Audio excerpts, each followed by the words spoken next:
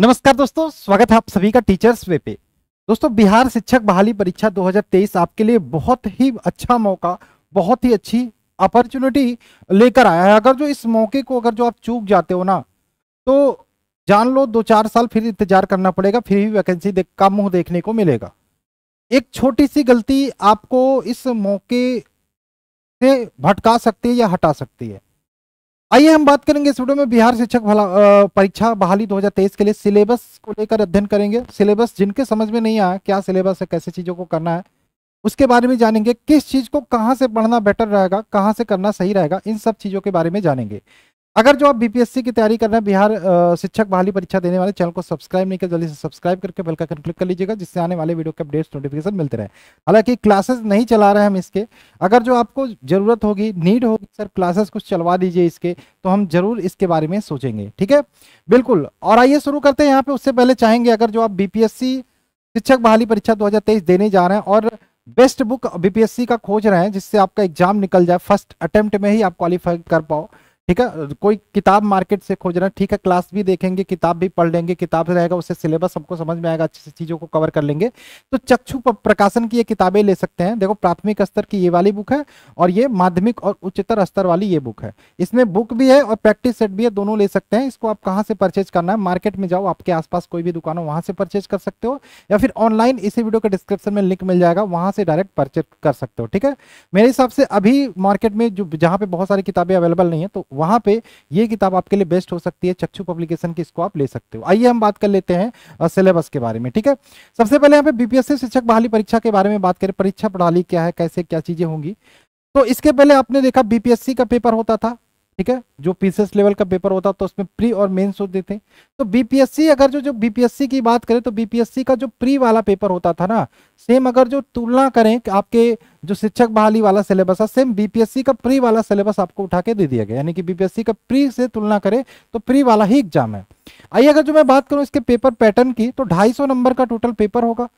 ढाई सौ नंबर का टोटल कट ऑफ़ के बारे में भी बात करेंगे, ध्यान रखिएगा। ढाई सौ नंबर का टोटल पेपर होगा, जिसमें सौ नंबर आपका एक पार्ट होगा, यानी कि दो एग्ज़ाम होंगे। दो एग्ज़ाम में पहला जो एग्ज़ाम होगा, वो सौ नंबर का होगा, जिसमें लिए दो घंटे टाइम मिलेगा। सौ क्वेश्चन सौ क्वेश्चन, दो घंटे का टाइम मिलेगा। दूसरा जो एग्ज़ाम होगा 150 क्वेश्चन का होगा, दो घंटे आपको टाइम मिलेगा, बिल्कुल। यानी कि चार घंटे का टोटल पेपर होगा, दो घंटे आपको सौ नंबर के लिए और 150 क्वेश्चन के लिए दो घंटे। ठीक है, यानी कि टोटल 100 प्लस डेढ़ सौ जोड़ते हैं तो 250 क्वेश्चन का पेपर आपको बीपीएससी शिक्षक बहाली परीक्षा 2023 में आपको देनी है, ठीक है? कोई भी कंफ्यूजन होता है तो आप हमसे कमेंट करके ज़रूर पूछ सकते हैं इससे रिलेटेड ठीक? आइए अब थोड़ा सा और समझने की कोशिश करते हैं, बिल्कुल याद रखिएगा। दो घंटे का समय पहले पेपर के लिए जिसमें सौ नंबर और सौ क्वेश्चन सौ नंबर दूसरे पेपर के लिए दो घंटे का समय एक सौ पचास क्वेश्चन यानी कि ढाई नंबर का आपका पेपर होगा। रही बात नेगेटिव मार्किंग का, बिल्कुल नेगेटिव मार्किंग इसमें रखा गया है। आइए हम बात करते हैं यहाँ पे क्या क्या चीज़ें कैसे रहेंगी। जैसे मैंने बोला पेपर वन और पेपर टू के बारे में बात किया। तो पेपर वन की जब बात करते हैं पेपर वन पेपर वन के लिए आपको भाषा ये वाला पढ़ना होता है। और पेपर टू की बात करें तो इसमें समान अध्ययन की चीज़ें देखने को मिल जाती हैं। पेपर वन में बात करें इंग्लिश के 25 क्वेश्चन देखने को मिल सकते हैं। कंपलसरी ऐसा नहीं है कि आपको चूज़ करना है। और हिंदी के पचहत्तर को, हिंदी वाले में आप चाहे उर्दू ले सकते हो, चाहे और भी कोई लैंग्वेज एक ऑप्शन है, वो ले सकते हो, ठीक है? तो हिंदी वाले ज़्यादातर बच्चे तो इसलिए हिंदी को मैंने ही सिर्फ़ लिखा है। तो 25 क्वेश्चन ये ये जो 100 नंबर का पेपर होगा पेपर वन 100 क्वेश्चन का पेपर होगा, इसमें 25 क्वेश्चन इंग्लिश के रहेंगे और 75 क्वेश्चन हिंदी के। अब कहोगे, सर जी, यहाँ पे ये बताइए, आपने लिखा तीस परसेंट क्वालिफाइंग अनिवार्य है। इसका मतलब क्या है? ये तो समझा दीजिए, बिल्कुल मैं समझा देता हूँ।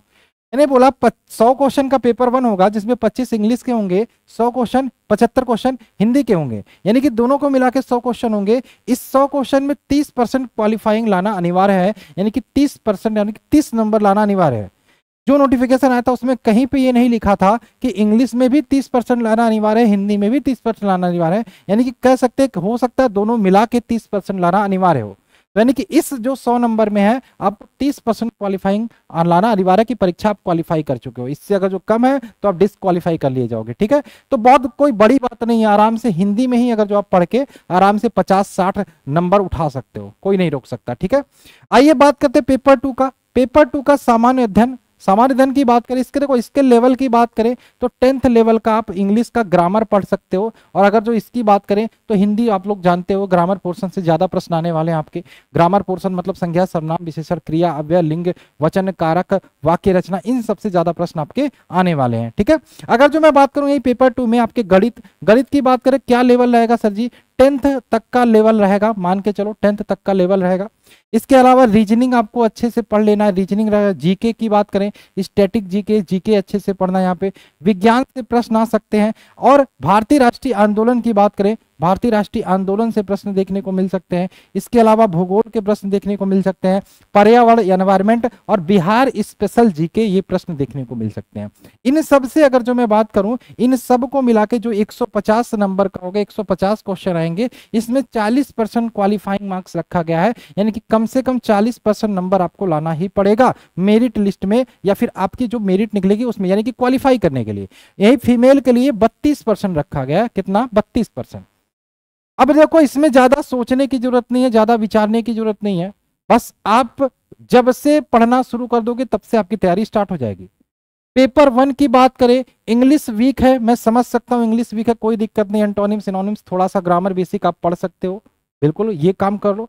हिंदी पे ज़्यादा फोकस कर दो कि हिंदी में पचहत्तर क्वेश्चन होगा, कम से कम साठ पैंसठ क्वेश्चन कहीं नहीं जाएगा। अगर जो आप एक महीने भी मेहनत से हिंदी पढ़ लेते हो तो साठ पैंसठ क्वेश्चन आपका बाहर कहीं नहीं जाएगा।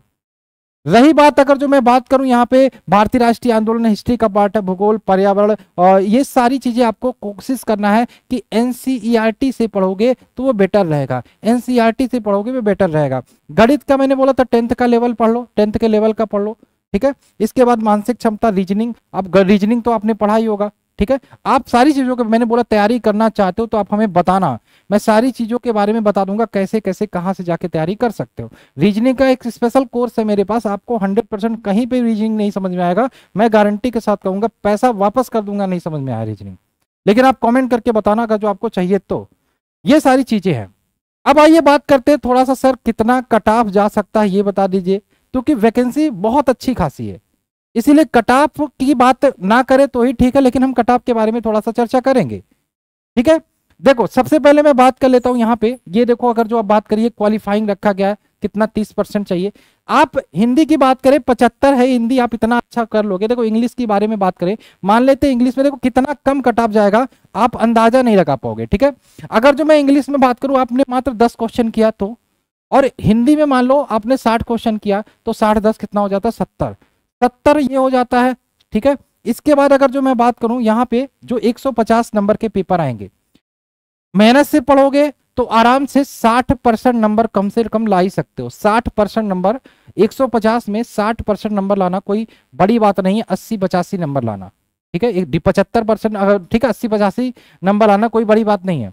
नहीं है तो अस्सी नंबर भर ले आते हो ना, अस्सी अस्सी तक ले आते हो ना, अस्सी भी ले आते हो तो आपका संभावना है मेरिट लिस्ट में नाम आने का। संभावना है मेरिट लिस्ट में नाम आने का। क्योंकि मैंने बोला ना वैकेंसी बहुत ज़्यादा है, इसीलिए थोड़ा सा आपको सावधान और बहुत आराम से पेपर देने की ज़रूरत है। बहुत आराम से रिलैक्स होके पेपर देने की ज़रूरत है। मैं क्या कहना चाहता था कटाप को लेकर, आप समझ गए होगे। ठीक है? बाकी अगर जो आप कहोगे, सर, पूरा डिटेल से एक बार कटाफ ही बता दो कितना जाएगा तो उसके लिए मैं एक अलग वीडियो बना दूँगा कटाफ को लेकर डिटेल में क्या चीज़ें कैसे जाएँगी, कितना करना और कहाँ कहाँ पे, किस सब्जेक्ट में कितना नंबर आएगा, ये सब चीज़ें अलग वीडियो में मैं बना के बता दूँगा, लेकिन उसके लिए आपको कॉमेंट करके बोलना पड़ेगा, सर कटाफ के लिए सेपरेट वीडियो बना दो और अलग से वीडियो बना दो कि कहाँ कहाँ से कौन कौन सी चीज़ों को हमें कितने कितने नंबर आएँगे, ये भी ये भी बता दो। तो उसके लिए अलग से वीडियो बना दूँगा। बाकी फिर भी कोई डाउट रहेगा तो हमसे पूछ सकते हो। चलिए, मिलते हैं क्लास में। बाय जय हिंद जय भारत।